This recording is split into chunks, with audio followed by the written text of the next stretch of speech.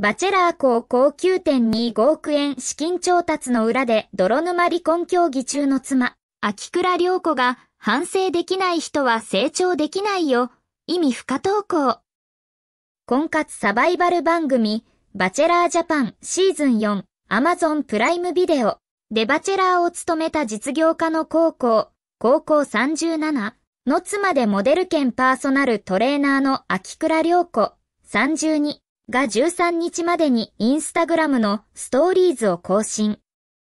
前向きながらも何やら意味深な文言を綴っている。黄皓と秋倉は昨年離婚協議中であると報じられ、ファンから心配の声が続出。そんな中、秋倉はストーリーズで教えてもらった大切な言葉たちをしっかりノートにまとめて整理。右往左往しながら前に進むんだ。原文ママ、イカ道と綴り、びっしりと書き込まれたノートの写真を公開している。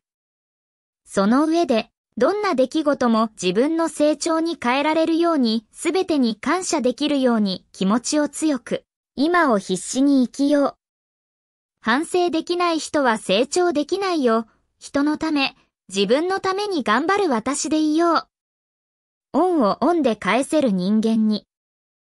成長過程、成長過程とも記述。前向きな内容に思えるが、高校と秋倉が離婚協議中であることを考えるとなんだか意味深にも感じられる。